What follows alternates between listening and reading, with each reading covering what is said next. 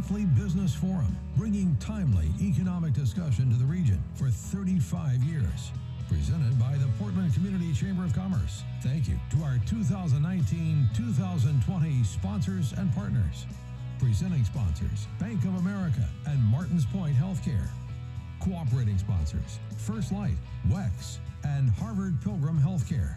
Community Corner sponsor Goral Palmer. Parking sponsor CV and Mahar Engineers. Reception sponsors Clark Insurance, KeyBank, and Verrill. Tomorrow's leaders and entrepreneurs sponsors Springborn Staffing Center and AAA Northern New England. Media partners News Radio WGAN, The Forecaster, WMTW News 8, Maine Biz, with production support provided by Headlight.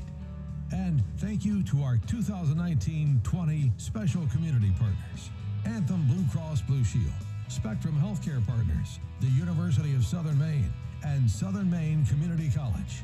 And now, please welcome Portland Community Chamber President Jim Cohen. Good morning and welcome to Eggs and Issues, the monthly business breakfast of the Portland Community Chamber of Commerce. My name is Jim Cohen. I'm a partner with the law firm Verrill Dana, and I'm honored to serve as the volunteer president of the Portland Community Chamber Board of Directors. Today's Eggs and Issues is a first. For nearly 40 years, our event has been held live with hundreds of people, lots of coffee, and a full breakfast. This month, in line with important directions to stay home and stay safe due to the COVID 19 pandemic, we are pleased to bring you our first ever virtual Eggs and Issues, live from my living room in the North Deering neighborhood of Portland, and live from the home offices of our distinguished group of panelists. I'd hoped to have with me this morning a live studio audience, but as you can see, that plan failed to materialize as many of you with college students now living at home understand, rarely do they see this side of 10 a.m. I do, however, want to thank all of you for joining us today and for joining us at a safe distance. Today's audience is a record crowd given the importance of today's topic and the significance of our guests.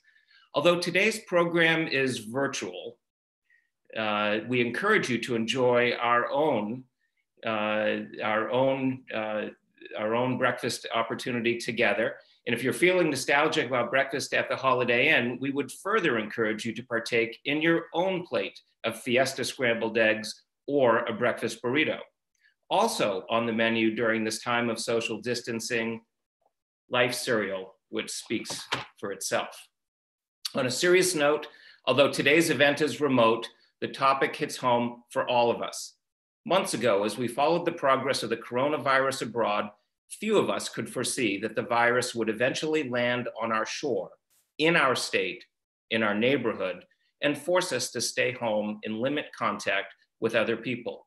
We didn't foresee, although in hindsight, perhaps we should have, that so many businesses would need to close their doors temporarily or permanently, and thousands of Mainers would be out of work. However, as we enter April, terms like social distancing, flattening the curve, N95 masks, and the Paycheck Protection Program have become part of our everyday lexicon.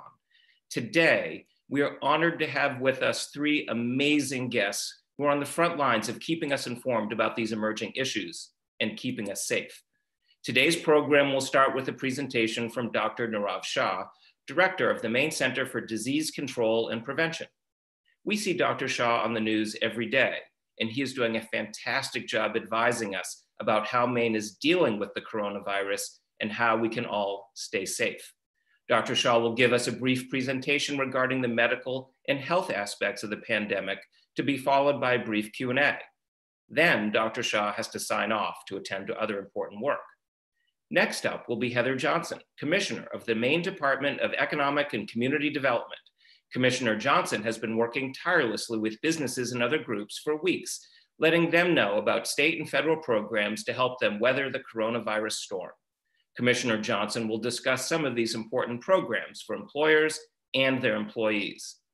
Also joining us is Dr. Dora Ann Mills, Chief Health Improvement Officer at Maine Health and former director of the Maine CDC under both Governor King and Governor Baldacci.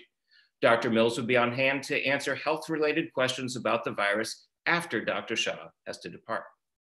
A sincere welcome to all of our guests. We know how busy they are, and we truly appreciate the important work they're doing. However, before we start our program, some housekeeping details.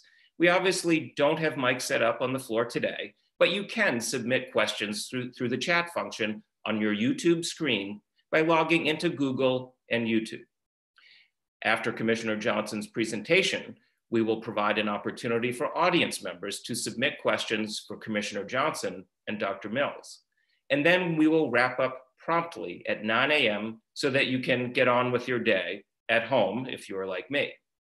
So with that, let me turn to Maine CDC Director, Dr. Shah and ask him to provide a brief update on the coronavirus in Maine and what we can expect over the coming weeks and months. Dr. Shah. Great. Thank you so much, Jim. And good morning, everyone. I very much appreciate the invitation and the opportunity to join you all virtually today. Uh, let me let me first start out by thanking everybody who has joined today for two specific things. The first is accommodating, as Jim mentioned, this somewhat new format that each of us is getting used to in the world. Uh, it, it's it's quite interesting, just almost as a sociological note, uh, about the ways in which we are engaging in this wild experiment in tele everything, whether that is teleconferencing, teleeducation, telehealth, or in this case, tele eggs and issues. And so I thank everyone for accommodating this different format. But given the audience today, I'd also like to thank you for your resilience within the business community in working with us as we ourselves have grappled with the coronavirus, fully recognizing that many of the public health recommendations that we have made have had significant implications for your businesses. And I'd like to just take a moment personally to acknowledge what you have sacrificed and thank you for your willingness to cooperate with us as a result of that. Uh, I'd like to just provide a quick overview of where things stand uh, and then try to uh, provide a bit of a glimpse into what we've done so far and then uh, to the extent I can try to give a flavor for what the next several weeks might entail.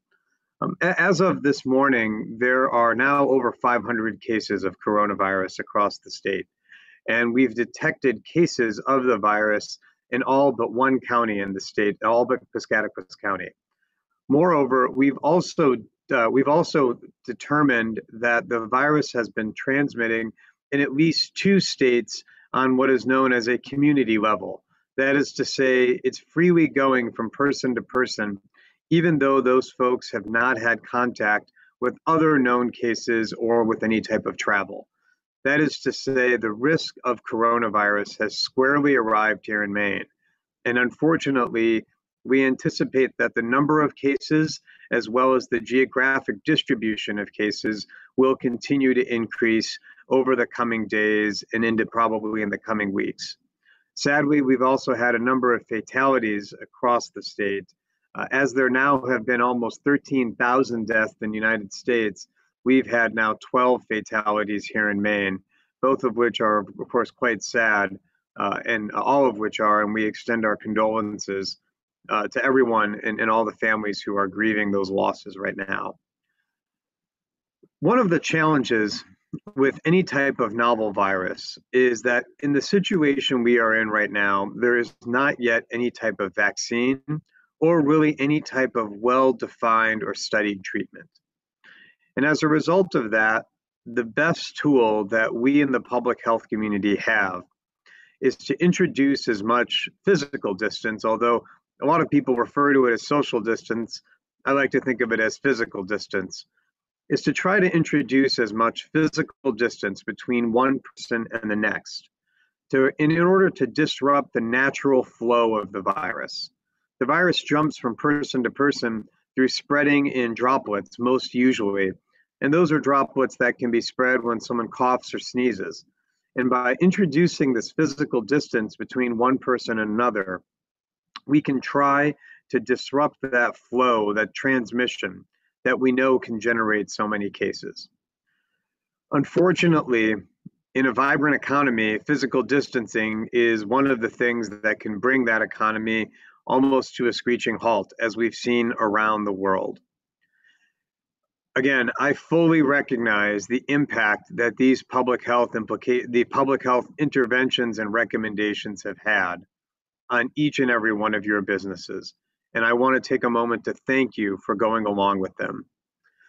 Across the world, as recommendations of this sort were being implemented or recommended, there were concerns about whether it was too much. And one of the things that I have personally observed working on outbreak type situations for about 19, almost 20 years now, is that everything you do before the peak of an outbreak hits is considered to be an overreaction. And then that everything you do after the peak of that outbreak hits is considered to be too late or inadequate. Uh, so, to put it differently, if after all of this is over, there are those who wonder whether we did too much, well, that's probably a pretty good sign that we did just about the right things. I say that because the virus itself is completely different than many of the other viruses that we've contended with in recent years. It spreads more easily than seasonal influenza, which itself spreads quite easily from person to person. It's also quite medically serious. A high number of people who get the virus need to be admitted to the hospital, and a high fraction of those folks need to be in intensive care, as, for example, we're seeing with Prime Minister Johnson right now. And a high number of those folks who are in intensive care need to be put on a ventilator, a breathing machine. And sadly, a higher number of those folks actually pass away. So, just from a purely medical standpoint, this is a serious virus. Added on top of all of that is the fact that, unlike a lot of viruses, quite literally no one has any natural immunity to this virus whatsoever. We are all uniquely susceptible, partly because the world has never seen this virus, and also because there is no vaccine. Coming as this virus does, close to the peak of the flu season, the healthcare system was already strained when you add on top of that additional individuals who need critical care or ventilators, it presents a distinct challenge to the system. And that is why these physical distancing measures, many of which again have entailed closure of non essential businesses and severely curtailed operations at even essential businesses, that is, the, that is why they are so essential right now. Um, it, it's a situation where because the playbook involves a virus that we haven't seen and one that we know is virulent, the best thing that we can do in the long term is try to put a stop to the virus as much as we can right now in the short term, recognizing the challenge, the disruption that that causes. So, I, again, I want to thank you for all of your cooperation from the business community as we've made these recommendations. Now, the one thing I know that is on everything, everyone's mind is what is this going to look like and when is it going to come to an end? And there has, of course, been speculation on that front by folks at the federal level. I'm not going to speculate on that today. I, the simple answer is science will dictate when the virus and when these types of public health interventions uh, need can be lifted in the same way that we arrived at them in stepwise fashion, layering one on top of the other as the scientific situation changed, we will likely remove them in similar stepwise fashion once we see signs and signals of safety on the horizon. I don't know when that will be. And so again, I, I will I will say what for someone who is involved in science and someone who is involved in government, are probably the three hardest words to say, which are I don't know when many of these public health recommendations and interventions might be lifted. But what I can tell you is that the team at Maine CDC, as well as the team at the US CDC, are looking at the data on an almost multi, multiple times per day basis to get a sense of how things are changing and thinking about what types of signs we would want to look for in order to start removing some of these public health interventions in the same way that we layer them on top of one another like an onion, we will probably peel them back in the same way. When that starts, what that looks like, and the order in which we do so It's premature to speculate, but I do want to assure you that this is very much on the top of everyone's mind. And we are being very thoughtful in the way we're trying to balance extinguishing the outbreak with the need to try to resume normalcy in our lives as quickly as we can. So with that, I will pause. Uh, and Jim, I'm happy to take uh, any questions that you might have or that uh, everyone joining us today might have. Thank you so much, Dr. Shah. And again, we really appreciate the, the work of you, your entire team, uh, as we navigate uh, really these uncharted territories. So one question that uh, we've certainly heard from, from many people is, I think you said that uh, it's not clear when these stay-at-home guidelines will, will be relaxed, but they'll kind of roll, roll back. If, if and when that happens, and we're certainly very hopeful that it does, do you anticipate or what sort of guidance would you give to individuals and businesses from a clinical standpoint as they start to reemerge and have contact once again with other people? Sure. So, Jim, I, I want to say at the outset things will get better. Um, it, it is not a question of, of, if, it is a question of when. Uh, what we know about viruses is that they can be extinguished, and these intense, aggressive physical distancing measures are starting to show signs in other parts of the world of doing that curve flattening. But what the world looks like when we start resuming normal commercial activity may, in some cases, be a bit different. For example, the cloth masking or the cloth face covering recommendations that the US CDC issued on Friday might need to be carried over for a, a, a, for a longer period of time, even within business establishments. It's even conceivable that individuals who work in retail and business establishments might wear face covers or even face masks themselves for a period of time. What I will tell you is that my team at the Maine CDC, Dr. Mills's team at Maine Health, our colleagues at the US CDC, will try to base all of these decisions on as much science as we can as, as opposed to speculation. But it is conceivable that for a period of time, even after we return or begin to return to normalcy, things will be different, even though they might be inching towards normalcy.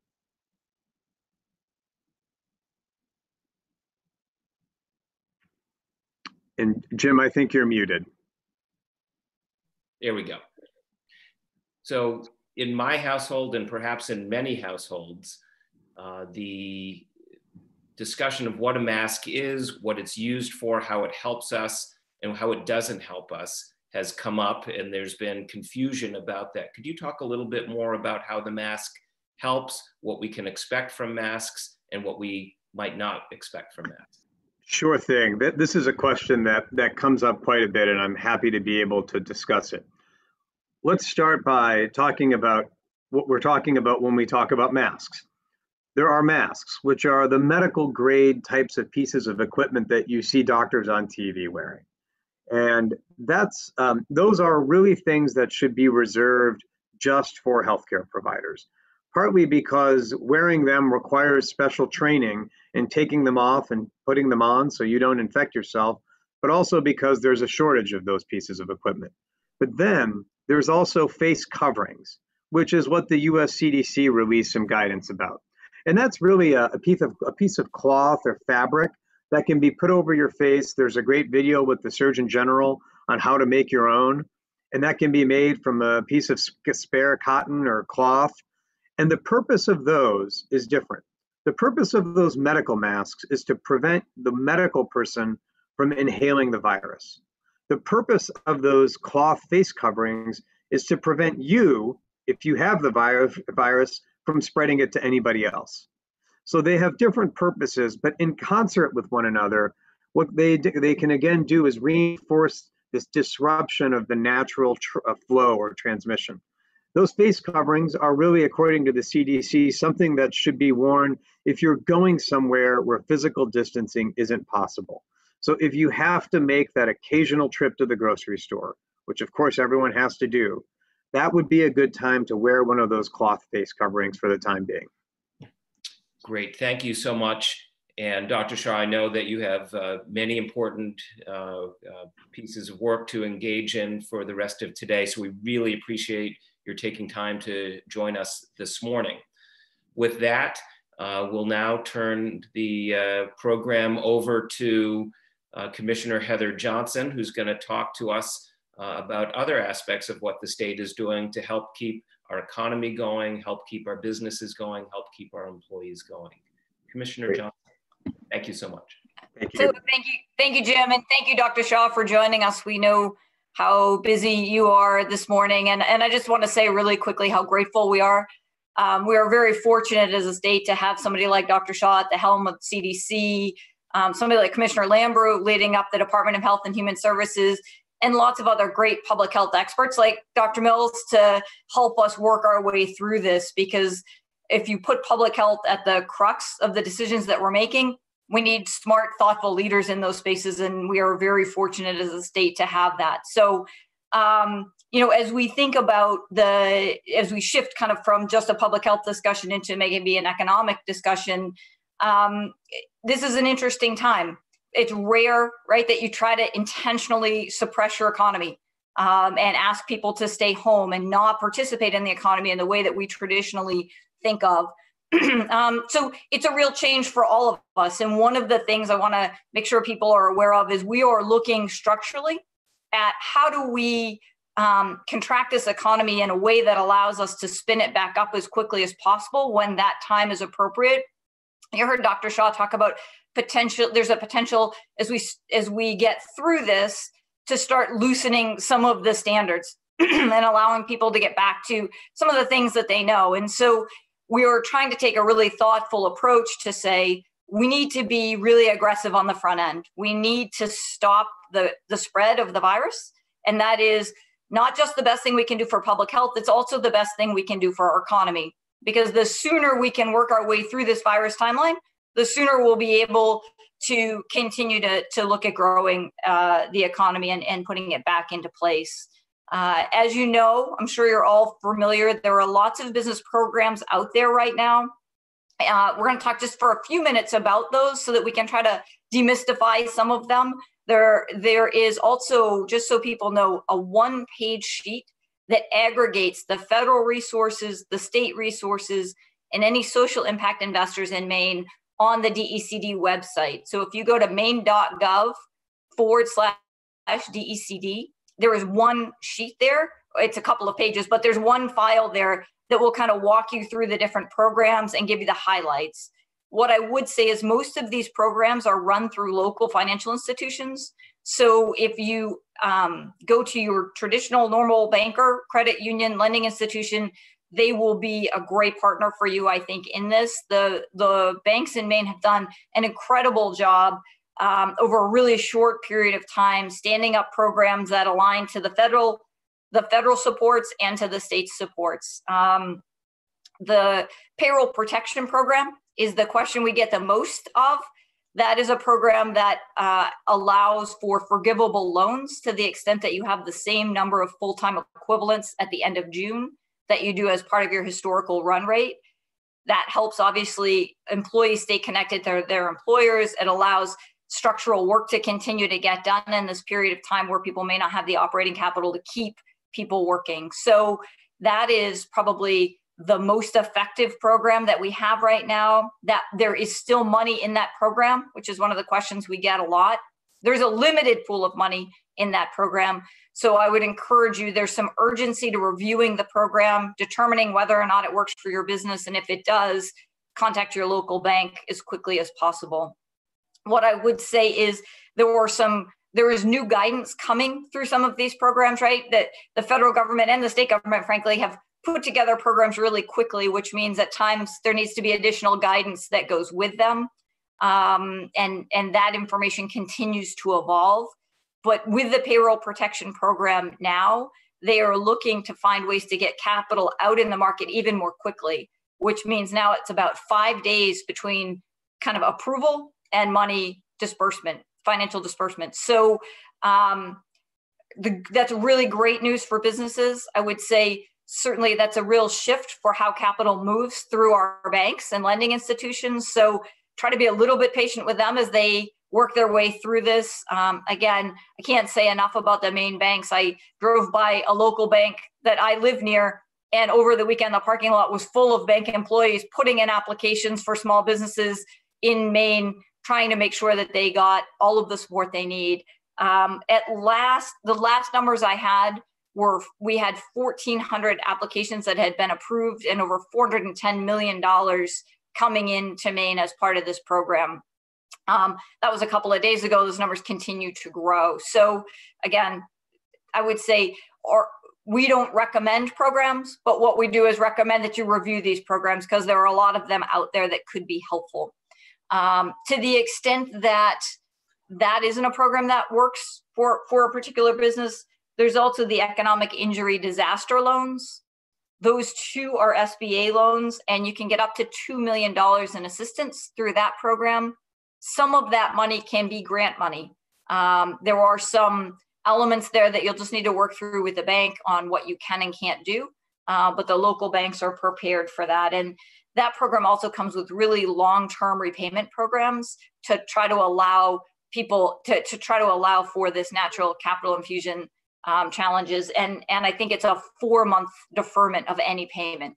So right the recognizing that we've got kind of an acute issue now um, recognize people need capital and then trying to allow for longer term payments. So again number of business resources there we won't spend too much time because maybe in the question period we can try to address people's specific interests I will say we get a lot of questions about unemployment. Um, and the, the commissioner of the Department of Labor obviously is the best person for that, but she sent me some talking points. The last public numbers, so week ending March 28th, we had over 45,000 people file new or initial claims in that week. Um, we'll have new numbers out tomorrow, but we had over a 3,400% increase same time last year uh, for the two previous years. So, I mean, that is just an unprecedented number of people coming into the unemployment system. Uh, you know, I, many of you know, I guess I did eggs and issues, might have been five months ago, and we were talking about a worker shortage, right? And how are we going to solve the worker shortage? And now, you know, in a very short period of time, we've gone from a worker shortage to um, a, a unprecedented number of people applying for unemployment, and that's you know that's a huge shift for for for everyone. And I think everybody's trying to work through that. One of the good things about the unemployment system right now is it doesn't require people to go look for jobs because we want people to be able to stay connected to their existing employers that will allow you know a much quicker reconnect for people back into their jobs when when those jobs are, are available again. So that's an important piece. Um, the one the one thing we would ask if if you are an employer and you are considering layoffs if you can't larger layoffs if you can please contact the rapid response team, they can much more efficiently support your employees into the unemployment system in that mode than if everybody goes in individually. So um, we'll just put that out there as a as an option. Um, and then kind of the other the other question I get a lot is when when are we going to spin this economy back up and what are you doing to be ready? Um, and I would say, honestly, it's a little bit early for that. We have spent most of our time so far trying to work closely with Dr. Shah and his team on what do we need to be doing to keep people safe. And safety is is the first piece of this work. Um, kind of now we're getting ready to start thinking about okay, uh, as we as we spun this down, we looked at how do you create critical infrastructure that is stable so even though less than 50% of our childcare slots are open right now, how do we support childcare locations in a way that when it's time and kids go back to school, that they can ramp back up and support, right? We know that childcare infrastructure, we were already having challenges with having enough slots. We need to make sure that the childcare providers can turn that, can open those businesses back up when that time comes. So we are working with, I would say, um, folks across the country on what a plan should look like, how we do it. Um, but what I would say for now is, you know, right now the priority is public health, keeping people safe, keeping people remote, um, and and that's where we're at right now. So, Jim, with that, usually there are lots of questions. So I want to make sure we leave plenty of time. Do you want to open up the questions? That sounds great. And Commissioner Johnson, thank you so much. I, I know from personal experience, you have been working round the clock, whether it's phone calls, emails, uh, on, on weekends and, and you and, and so many state employees are just doing a fantastic job during this very difficult time uh, for thank the you, nationally and country. So thank you. Uh, we do have some questions. Great. Uh, let me first say, uh, you, you had mentioned that there's a one page uh, guideline that will help uh, businesses and employers navigate some of these programs. I want to let our audience know that that will be linked on the Chamber's website. Great. Uh, the Chamber is, is working to try to keep all of its members informed. Uh, could you talk a little bit more about how, uh, how you would uh, advise businesses? There are so many of the programs, and you touched on many of them.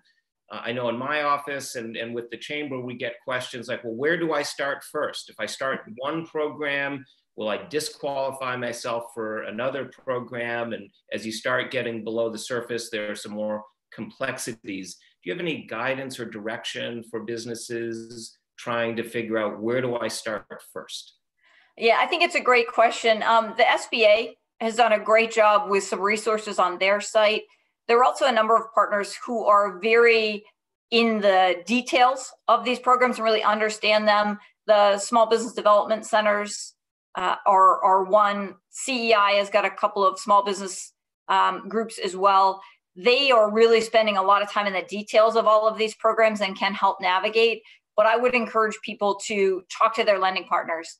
They are really at the point of the spear on this one and are, are a great resource. Um, but also look at the programs, right? Some of them will really meet your needs. If payroll protection and keeping your employees paid is the biggest operating challenge that you have right now, there's a clear answer to that. If that doesn't fit your need, then kind of keep working through. But I would say those are that that's the approach that we're we're suggesting people take.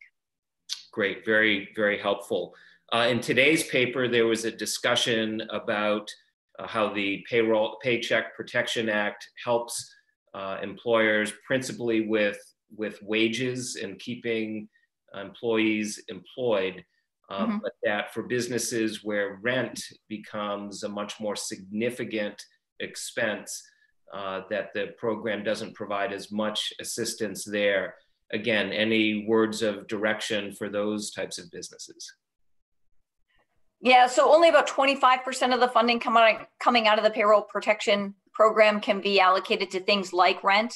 Um, the um, the economic injury disaster loan is really a great place to look there. There is there are ten thousand dollar grants available as part of that program that can go toward rent. Um, so I think that's a good opportunity. The state, um, one of the you know eh, when you get into these moments, right, you have the opportunity to see some great things come out of people. And and the state legislature really coalesced around resources and support in a very nonpartisan way kind of right before they adjourned. And and as part of that omnibus package there was a consumer and sole proprietor loan guarantee program. Um, that is being worked now uh, there are a couple of details that need to be fixed because it happened pretty quickly and there were a couple of misses there that just need to be tightened up that's being worked um, that money also is loan money, but it can go to things like rent and provide kind of that working capital, short-term working capital. Great, thank you so much. And we and we have uh, Dr. Dora Ann Mills uh, with us also. Thank you, uh, Dr. Mills, for joining us this morning. We certainly uh, remember very well uh, the nearly 16 years you spent as our director of the CDC. So thank you so much. Uh, so let me turn back to a, a health related question. And, and specifically, I think we saw today that uh, in China, the Wuhan province is essentially getting back to normal, but that one of the important pieces of that happening was testing. To what degree can we look forward to testing and more testing as a way to help get us back to work uh, and able to be around other people again? Now, that's a great question, and thank you so much for having me. And it's um, always wonderful to uh, to see um, Commissioner Johnson and uh, also Dr. Shah, whom I just adore. He's a good friend and colleague, and um, think we're very fortunate to have him at the helm there. So there are several criteria which uh, generally we need to meet in order to start loosening things and loosening the mandates. And one of them is the wide availability of testing. You have to be able to figure out who's got it. And of course, right now, as you know, across the country, there have been these uh, supply chain issues around testing and testing supplies specifically. so, so we've been not able to test widely as widely as we should be able to in an epidemic. Um, that is helping. As you know, our very own Abbott Labs is uh, is producing one of the the quick tests, rapid tests. Um, so we hope to get a lot more of those in Maine soon. Um, and I think because the federal government's taken a lot of control over the supply, it's not a matter of just driving to Scarborough and picking it up and delivering around the state. Um, though I do understand Martin's Point has a has a has a limited supply of those. So we hope to get a lot more of those. And I know IDEXX, um, our own NorDx labs at Maine Health, um, the affiliated labs up in uh, with Northern Light Health, and of course the state lab. There are several labs now who are able to test, not as great as we'd like to, but hopefully be able to expand in the next, hopefully in the next days and weeks, so that anybody who's got symptoms can um, can be able to get tested. Um, and that's so I'm, I'm hopeful that that'll happen. And it's got to happen in order for us to reduce the, mandates um, for the state and the federal government to reduce mandates. Um, the other thing I should just mention is that um, the hospitals need to be able to take care of obviously everybody who's sick with COVID as well as everyone else. Because um, we have a lot of pent up demand, obviously the non-essential or elective types of procedures that have been postponed. Well, at some point, a lot of those become essentials. So there's a backlog. Um, want to be able to get, be able to have the hospitals be able to open up to that. Um, and also we need to be able to uh, see a sustained reduction in cases um, over at least a couple of weeks period. And we're not there yet. We keep seeing a sustained increase um, in cases, though the really great thing is that the rate of increase seems to be reduce, reducing a little bit. That is the, another way to put it is the doubling time. Um, so the time it takes to double the numbers of cases. It, three weeks ago, it was two days in Maine. It's now, it, you know, it depends on how many days you're going to average, but it's nine to 11 days, which is astounding. It's great. It's, we still, we need to see a decrease, not a decrease in the rate of increase. So right now we're seeing preliminary signs in that it's a decrease in the rate of increase, which is not the same thing as a decrease. So, um, but it's it's a good early preliminary sign, just sort of like some of the buds coming out on the trees, I guess, um, that the leaves will be forthcoming hopefully soon. So this social distancing, I think there's a, you know, this preliminary evidence that it is working. Um, I know I work at Maine Health at downtown Portland at corporate headquarters, and it it's just breaks my heart because you can walk down the middle of Congress Street and not get run over in the middle of the day, and it's um, it's very sad. So I know that our business community, people out there, when we talk about cases of COVID, we're so um, frequently talking about people with the disease, and yet I just look out my window and I see evidence that there's a lot more than just people who are infected with the disease. We have our business community, a lot of small family businesses that have had to close and um, and, and I hope that they can reopen too. I understand some of them may not, you know, it may not be able to. So I just want to tip my hat off to the chamber for and Quincy and you, Jim, for, for really stepping up to the plate to help um, our business community because we know health is not just about physical health, it's also about economic health and mental health and all kinds of other aspects of our health. So um, I'm so sorry for the challenges that our business community is going through. And, um, and I thank the chamber for, for helping out and, and Commissioner Johnson at DECD. Thank you, Dr. Mills. Uh, yes, it has been just an incredibly difficult period of, of time. And I think our hearts go out to all of the businesses, all of the employees as we struggle uh, both to stay safe uh, and hopefully to keep our economy going.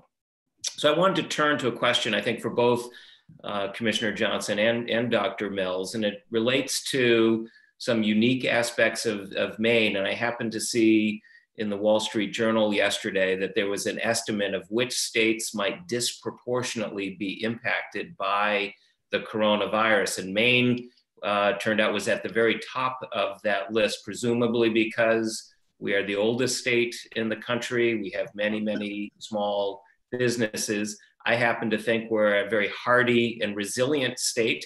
Uh, and so, despite some of those statistics, I'm hopeful uh, that it's not an accurate measurement of how Maine will fare. But any comments about uh, that type of a statistic and how Maine might fare relative to other places? Yeah, thanks, Jim. Um, I think how we fare to other places is a relative discussion, right? And we can look at it. I, you know, the the factors that they utilize to make that determination are are accurate, right? We have a lot of small, locally family-owned businesses, and we are older and we are more dispersed. All of those factors weighed into their criteria, um, and frankly, they're all true, and we recognize that. I think people are quick to to agree with that, given given some of the challenges we had coming out of the 2008 um, economic slowdown or recession. And, and so I think there were lots of things there to consider. I also think Mainers are incredibly strong and resilient and want to take care of our own. And so this is a time potentially that we can start thinking differently about not only the businesses we have, but how we support businesses. You know, I was, um, I, I ran into a farmer yesterday and he said, all of a sudden I can't keep meat in stock. And I said, absolutely, right? People now want to know what their food sources are. They want to know where things are coming from. Um, they want to support their local, you know, store owners. They want to try to do some of that work. So I think if we can collectively, as we start to turn this economy back on, think more um, clearly and more specifically about how do we help our local businesses first how do we take that extra effort to buy the face coverings from a Maine manufacturer who is making those as opposed to just going out and getting whatever the first one you can find is um, you know those are the things that are gonna help and make make us be more resilient and come back more quickly and prove and prove the wall street journal and, and some of those reporters wrong in this case Great. and i would just add to that that um, you know in terms of us being the oldest state in the nation i mean it does impact we have already seen that um, our hospitalization rate from COVID is higher than the national average, about a third higher preliminarily. And that's not really surprising because what we know from the data in China and preliminary data in this country um, and from Italy, that the older you are, the more likely you are to have to be hospitalized and um, and have severe outcomes. So um, we have the highest proportion of people 65 and older, 21% um, in Maine, compared to um, 16% nationally.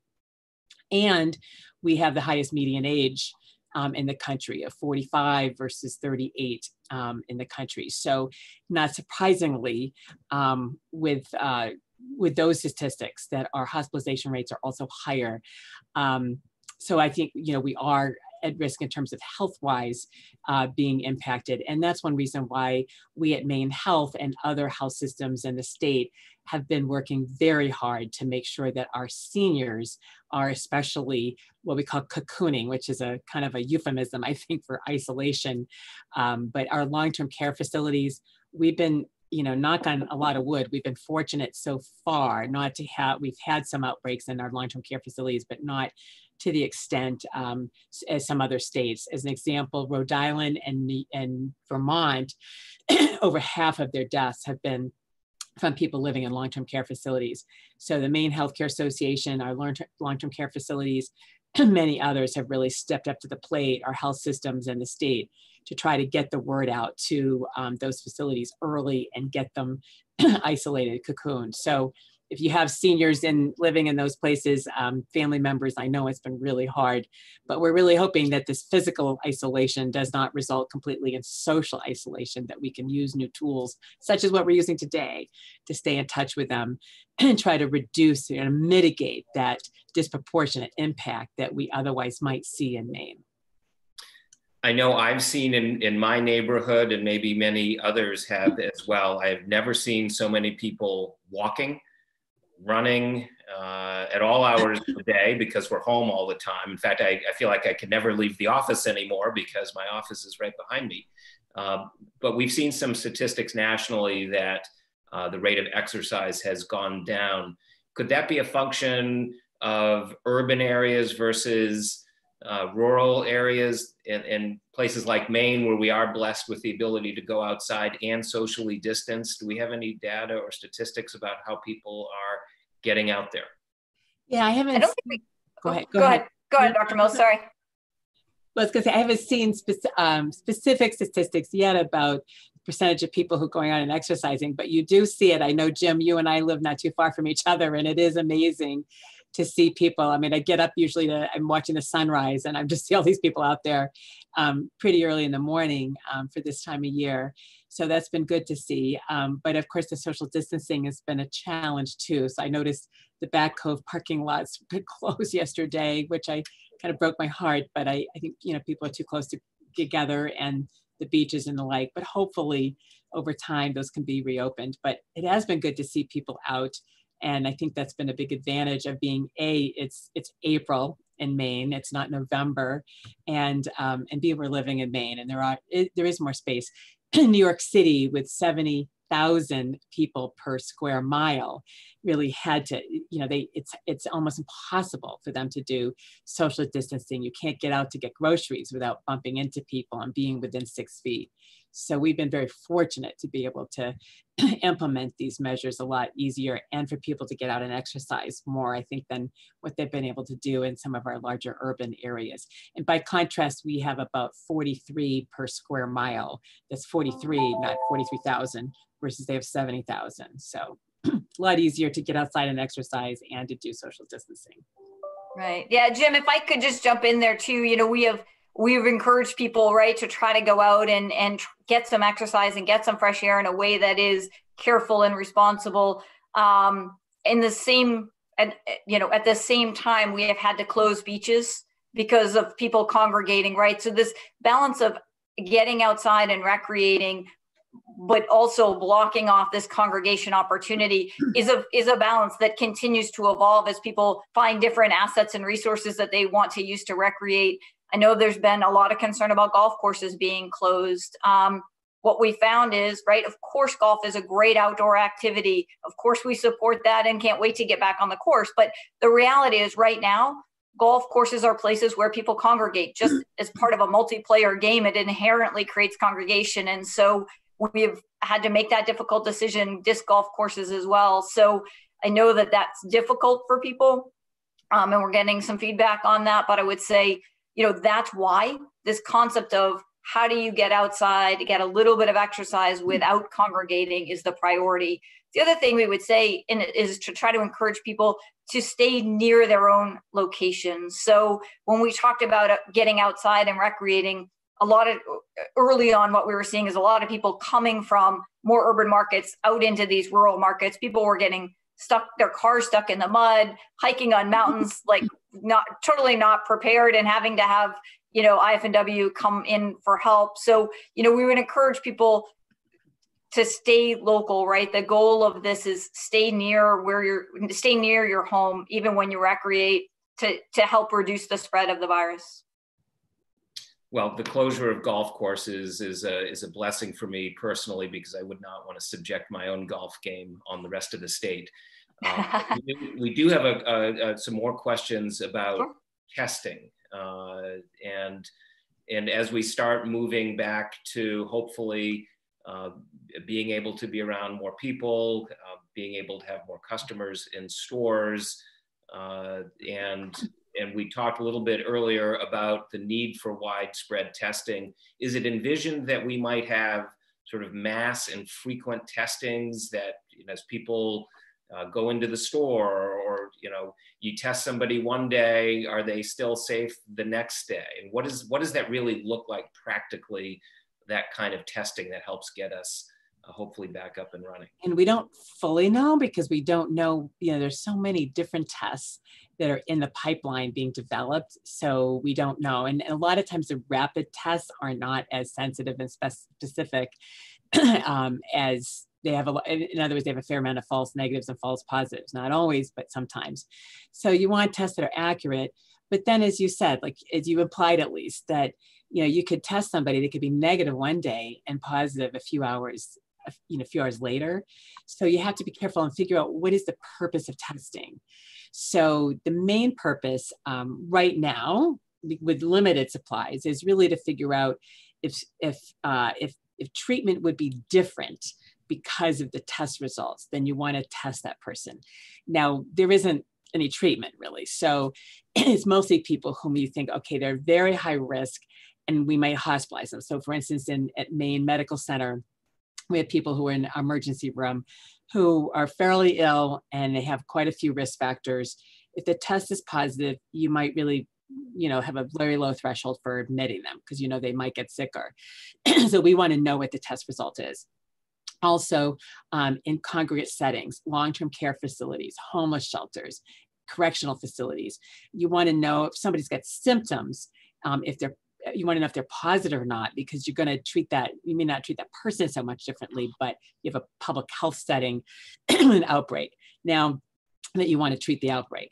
So as we move down the line and we hopefully start going back to somewhat normalcy um, then and as tests become more prevalent um, then you want to be able to test people who are symptomatic to see if uh, if they have the infection because you want to isolate them. So as things loosen up and we get more testing, we want to, we want to spend a lot more resources on testing people who might be infected because you want to isolate them and do what's called contact tracing um, get in contact with anybody they've been in close contact over the prior 14 days or so and make sure that they're appropriately isolated.